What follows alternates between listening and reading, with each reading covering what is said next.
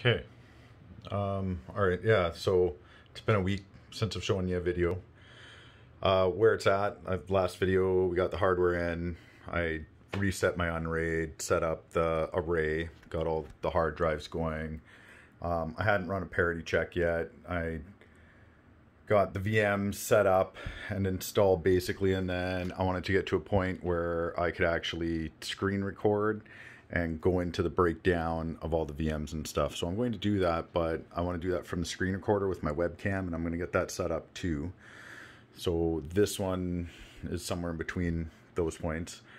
Uh, I've got both VMs in, got the keys in. They're you know legit registered now. Uh, video cards and stuff assigned out, and I'm going to go into major detail with the splitting and the assignments and everything. But I'm going to do that in the screen recorder. So right now I've got both VMs going. I've got Steam installing on this one. I gave this one 8 cores, 16 threads. It's also uh, watching a Titans episode right now that this VM is on the receiving side of, but I actually do have the Unraid setup running Plex and it's on it's on the drive. So it's it's sending that actually out through my Aquantia 10 gigabit connection and then these two here are um, Intel 1 gigabit NICs, and they're for each of the, the VMs. So each machine technically has its own network controller, and I assign those out. And then, of course, I've got my two video cards that currently each unit is using. But when I make that script, which I haven't done yet, for the one major machine, I am going to put both of them in, and I have my SLI bridge in there, and the SLI will work. So I'll, I'll also do that, but I'm to do that through the screen recorder. Um, but yeah, it, it's going right now.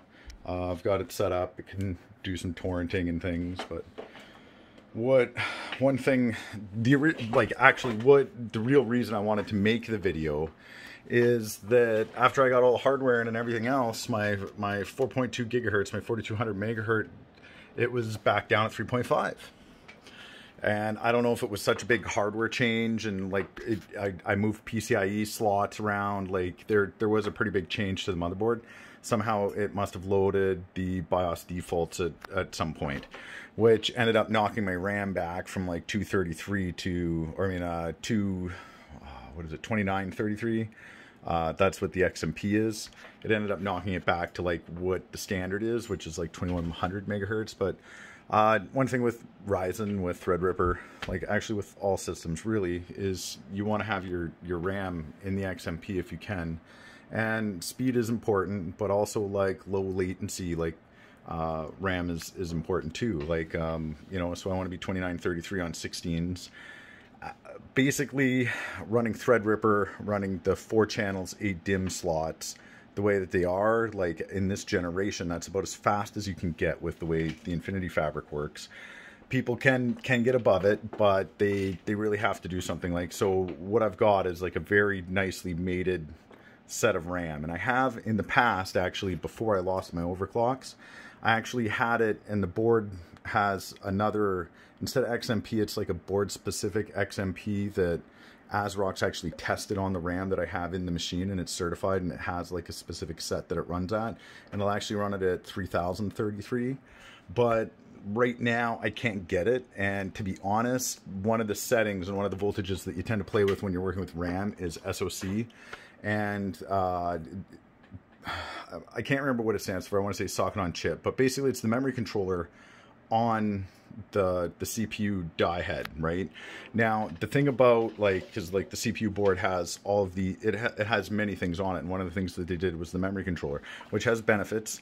Um, one of the downsides to it though is like so. Anyways, to get the 3000, I have to bring the SoC up. Um, from whatever it is stock up to around like 1.05 somewhere in there which is technically safe but one of the things that I'm running into is I don't have my, my CPU voltages quite tweaked just right. I, I don't remember the settings as much. I actually, maybe I should just go into it. So this is my unraid, and I'll, I'll talk a little bit more about it, but what we're going to do is I'm actually going to run a shutdown command here. I'm going to reboot the whole system, which it should actually tell both Windows VMs to shut down here. It should get the command for it. There we go. One, two, so they're shutting down. So I'm trying to get it back up to 4.4 gigahertz. I've got it at 42 right now. Uh, with the 42, I seem to have my core voltage high. Um, I can't remember exactly what it's at, 1.378. The the chips can go up to like 1.44, 1.45. People say like 1.41 is fine. Uh, the problem is, is once you get up there and you're vibrating at high frequencies, they, they get warm. Even with that triple radiator with six fans on it, you know, three push, three pull, I'm getting warm. So at 4.2 at the voltages that I have, when I run a stress test, which like Cinebench there, it, it's pretty pretty heavy duty stress test. But when I run that, uh, my temperatures get up like I'm I'm at the peaks, like under synthetic load, full load like that. When I'm really pushing it, I'm at like the peaks that these processors are supposed to run at for everything to stay safe. Like um, you know, keeping under that that thermal limit. So I'm running a little bit hot, and I, I remember to get 4.4. I had some voltage tweaks, and then the other thing that you play with is um, V droop. It's like a voltage droop setting. Um, I'm just to reboot here in a sec. Uh, the the server's like shutting down. It's technically it boots up with a head, but then uh, as in a video card out, display output. But then I actually take it and I reboot the card and I assign it to a VM. So when it shuts down, I don't actually have. Here we go. I don't actually have any sort of video card in the machine that tells me the shutdown process and where it is, but I don't really need it. And It, it seems to go pretty good. Uh, so I'm just logging in to uh, my BIOS here. So what happens is it flashes my BIOS, and then I also have two SATA controllers in there that I dedicate one of them out to each VM, but it, it also detects those and the hard drives on those. So there's my RAM. I got it up at 2933, which it, it takes that setting, like when we go to my uh, OC tweaker settings here. So, so like it's XMP profile one, which it really only has the one. So, it, and it's 2933 that it's set at. And basically that's just the standard, um, standard voltage that it wants to run at too, right? 1.35 volts. And it seems fine there. So I'm not playing around with it much.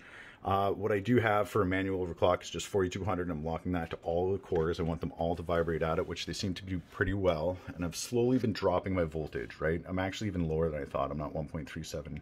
I'm 1.3625. So going down one notch from that, let's see, 1.35625. Okay, so you know, you, you go down in these set increments and I'll, I'll run that increment. But one of the things that I've still got going on for that voltage droop here, load line calibration. And um, when we look on the side, as the, the voltage for the core versus how heavily it gets loaded, right? So as, when you assign all 16 cores, 32 threads to it, it's going to draw really heavy. And it's uh, how it works is level 5 allows for the most drop. And then level one or if you go up to like auto it, it tries to actually prevent it completely. So you'd think well you just want to run level one but the problem is is it's like hey CPU gets a load here's all the power that you want. So you give the the CPU more power than it probably needs and one of the problems with that is, is your heat spikes up right away so like we can dissipate heat pretty quick with with the liquid cool setup, but when you have those giant spikes, like it, it shoots up right away and uh, you don't want it to be higher than it needs to be. So I'm running it in the middle right now on three and it has been very stable, but that was at that was at the 1.6, which I just brought it down to 1.5. Uh, DRAM voltage, keeping it the same. That should be fine. So, um, yeah, SOC voltage here. So I've just left it at auto, but you can like you can go manual and I can boost it. But one of the problems is, is I'm starting to add the RAM's fine right now. I don't know if I need the 3000 um, setting, you know, to get that extra 100 megahertz. But in, in bringing up that voltage, it, it starts to add even more heat to the processor, and I don't really need that right now. So I haven't haven't been wanting to change it, but I did just drop the voltage just slightly to the processor. So save changes and exit. I'm going to actually reboot it, which when it boots up, the system will grab uh, grab the top video card, which you think is the first one in the loop, but when you, I look at the IO MMU groupings and everything else, actually the bottom of it seems to be first and primary according to the way Unraid sees it. Anyways, it's uh, booting up now. So that's motherboard. It'll come up here, and then that's my first controller that goes to uh, one Windows VM, and then it'll flash my second controller here that goes to the second VM. It's loading up all those hard drives, plus like the SATA controller that's on board. Now there's the Unraid boot. So it's just booting in without a UI, but again, uh, once it starts up, I take the video card and reboot it, which um, I, I, talked about it in the last video. But you you basically just copy it, like copy the uh, the BIOS ROM in it over, and then it can like, to my understanding, is you just live reboot the card, and then it reassigns it to a new host. It, it's it's a neat process. There's a good a good tutorial on on like how to do it, and it it works flawlessly for me with the 1080 Ti's. I don't have any trouble at all. So there we go. So right now, Unraid's just booting in. So as soon as Unraid loads, it grabs all of my hard drives in the st stack of my array here. And then it fires them up, gets the array going. Once the array is up and running, it will boot up uh, my virtual machines and it normally boots the virtual machine staggered, which I think it's going to go here now. Let's see.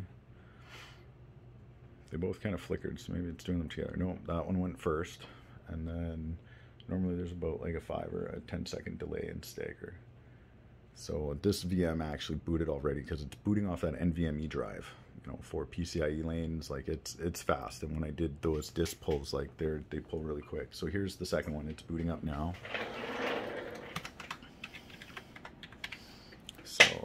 Just going to log in quick.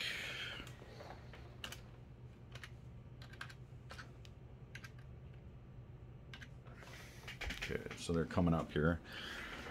Um, it's much easier to do with the screen recorder, but we'll quickly log in here. So arrays online. These are my disks, how full they are. So 8 terabyte, 8 terabyte, 8 terabyte, 4 and 4. I've got a total of 32 terabytes and this one is my parity and you know parity's valid everything looks good. This is like a cache cache disk that um, I use in Unraid like uh, applications and certain things are on it. There's the flash disk and then these come up with the other controller or actually the two controllers. So it's controller one controller two and that's what I end up dedicating out to my VMs which are here and here and again I'm going to do a screen recording with VMs and the breakdown and everything in the IO MMU groups, but I've got them up right now. One of the things that I'm still dealing with, so I'm at 4.2 gigahertz. We got a fair bit of core activity at the moment here. But right now, actually, to be totally honest, I have to uh, change this. And we need to reassign all of those cores to the VM because I'm going to stress test them under load. So it's just going to reboot this machine and reassign the other uh, four cores, eight threads there. So it's total of eight, like eight cores, 16 threads, eight cores, 16 threads. I'm gonna run a Cinebench and then I'll just show you how quick the temperatures spike up right now. And we'll see if we're stable. I dropped the voltage a little bit more and I'm just wondering if we're stable. Sure get a lot of reflection on the glass.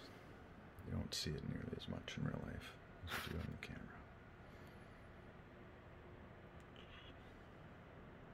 Still have all of those cables to plug in. Okay, so VM is just starting up here again. Normally when you do a hardware change, the boot takes a little bit longer.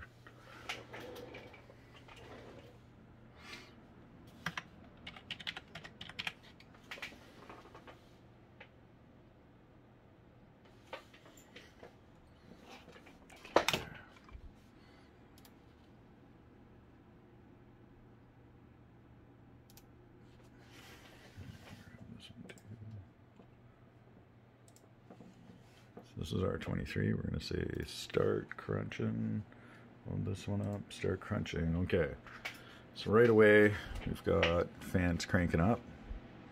But I need to get us a display for Aurora here. Okay. Here we go. Cores are maxed. 32 threads, 16 cores, just 100% full utilization. Machines are crunching.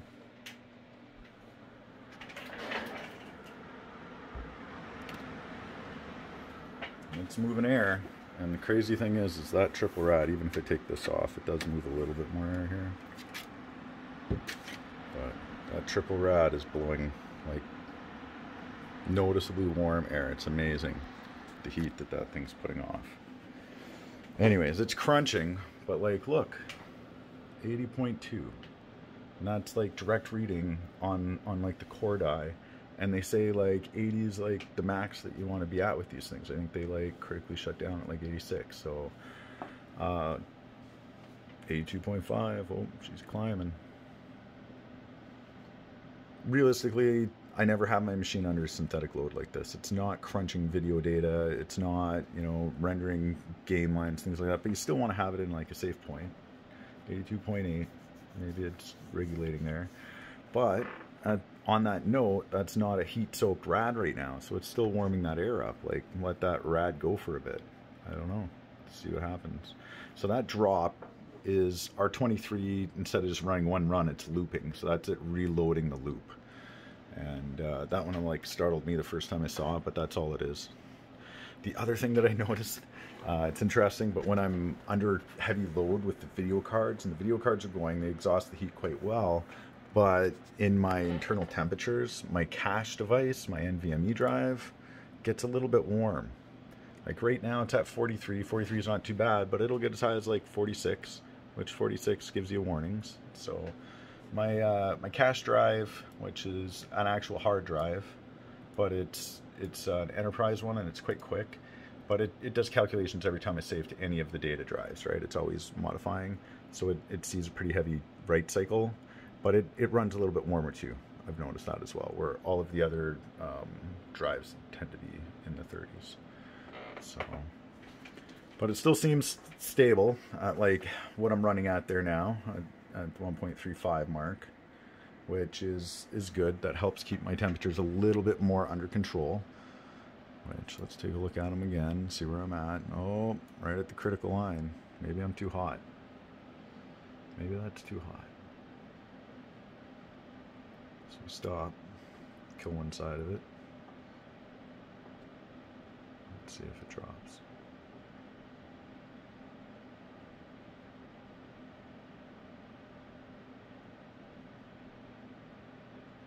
it does come down.